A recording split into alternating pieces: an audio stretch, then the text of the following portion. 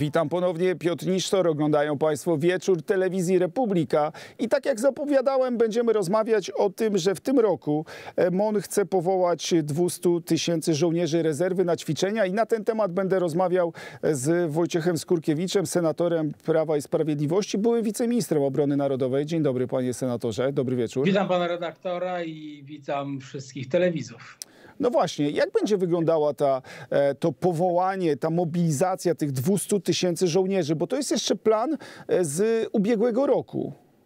Dokładnie tak. To jest plan, który został przygotowany przez rząd Prawa i Sprawiedliwości na rok 2024. Podobna e, liczba żołnierzy rezerwy była planowana także do przeszkolenia w roku 2023, więc utrzymujemy to na tym samym poziomie, chociaż mam wątpliwości, czy obecny rząd będzie miał wolę i chęć zrealizowania e, tego przedsięwzięcia, bo zdajemy sobie sprawę, że no, wiele jest rzeczy, które są kontynuowane, ale jest wiele również tych, które obecna koalicja rządząca, koalicja 13 grudnia, nie zamierza kontynuować. Jeżeli chodzi o szkolenie rezerwy, to jest bardzo kluczowy obszar. My celowo w ustawie o obronie ojczyzny powołaliśmy do życia rezerwę aktywną. Również jest rezerwa pasywna, ale szkolenia dotyczą rezerwy aktywnej.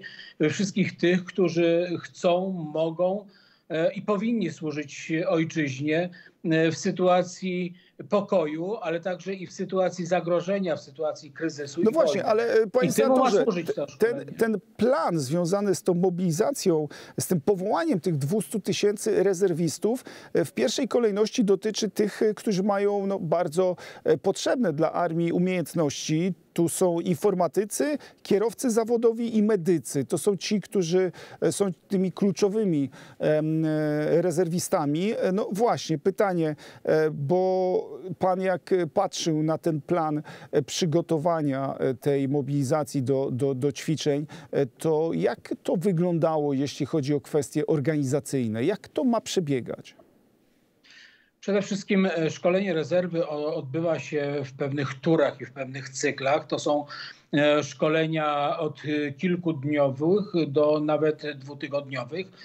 E, I one są o tyle dzisiaj szczególnie istotne, bo jak zapewne e, widzowie telewizji Republika wiedzą, e, Dzisiaj polskie wojsko przechodzi metamorfozę techniczną. My odeszliśmy, odchodzimy od sprzętu postsowieckiego.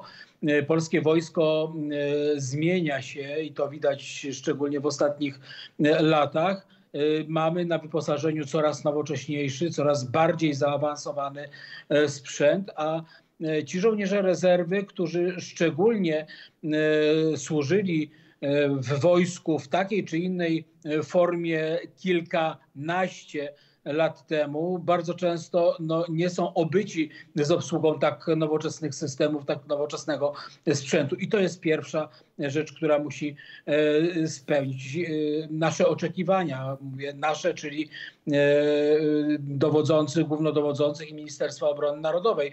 Ale ważne jest również, aby zapoznawać również z tymi kwestiami dotyczące, dotyczącymi funkcjonowania współczesnej armii, współczesnego wojska w realiach przede wszystkim naszych relacji wewnątrz natowskich. Czyli to realne szkolenia w realnych warunkach bojowych. Dokładnie tak. I tutaj jest e, też kluczowe to, aby pokazywać, jakie są dzisiaj e, możliwości polskiego wojska i z czym wiąże się służba w polskim wojsku. My też po raz pierwszy e, zrealizowaliśmy, czy realizowaliśmy takie przedsięwzięcia, wkomponując, komponując, próbując wkomponować żołnierzy rezerwy również w manewry i szkolenia i treningi, które były prowadzone przez e, żołnierzy e, zawodowych.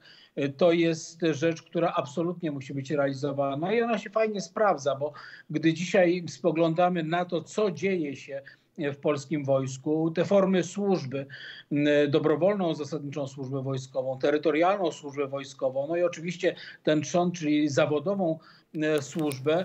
My musimy również mieć do dyspozycji ten, tę część społeczeństwa, która jest po przeszkoleniu wstępnym wojskowym, która złożyła przysięgę Y, wojskową, to są setki tysięcy, jak nie miliony polskich obywateli. No właśnie, ale panie senatorze, bo, bo pan powiedział o tym sprzęcie, tym nowoczesnym sprzęcie, no a tutaj e, już za chwilę e, bojowe śmigłowce Apache, 96 egzemplarzy, e, zresztą w Stanach Zjednoczonych, gdzie reporterzy naszej stacji towarzyszyli prezydentowi Andrzejowi Dudzie w wizycie związanej z rozmową rozmową z Joe Bidenem, prezydentem Stanów Zjednoczonych, również te Apache e, było można zobaczyć. Jak ważny jest to element wzmacniający e, polskie siły zbrojne?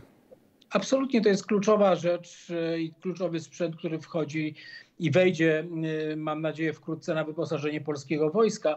Ja pragnę zwrócić uwagę, że dzięki bardzo dobrym relacjom ministra Mariusza Błaszczaka z sekretarzem obrony Stanów Zjednoczonych my mamy możliwość, czy będziemy mieli już wkrótce e, możliwość e, korzystania z, ze śmigłowców e, Apache jako takiego wstępnego, przygotowującego działania i przygotowującego nas do realizacji tego e, kontraktu. Śmigłowce e, uderzeniowe wejdą na wyposażenie polskiego wojska, zastępując wysłużone Mi-24, konstrukcję, która znana jest e, ze swoich bardzo dobrych osiągów ale w latach 80. współczesne e, pole walki wymaga zupełnie no właśnie, czegoś e, Panie senatorze, i tu musimy niestety już postawić kropkę, bo czas nas dogonił. Bardzo dziękuję. Wojciech Skurkiewicz, senator Prawa i Sprawiedliwości, były wiceminister obrony narodowej, był moim Państwa gościem. Bardzo dziękuję.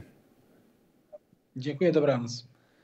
A ja również życzę Państwu spokojnej e, nocy i przypominam o tym, że nie ma nas e, bez Państwa wsparcia. Zachęcamy do wspierania telewizji Republika, no, bo jesteśmy przecież dla Państwa, aby informować o tym, co faktycznie dzieje się w naszym kraju, to co jest ważne i istotne tylko w telewizji Republika. Kłaniam się nisko, życzę spokojnej nocy. Do zobaczenia.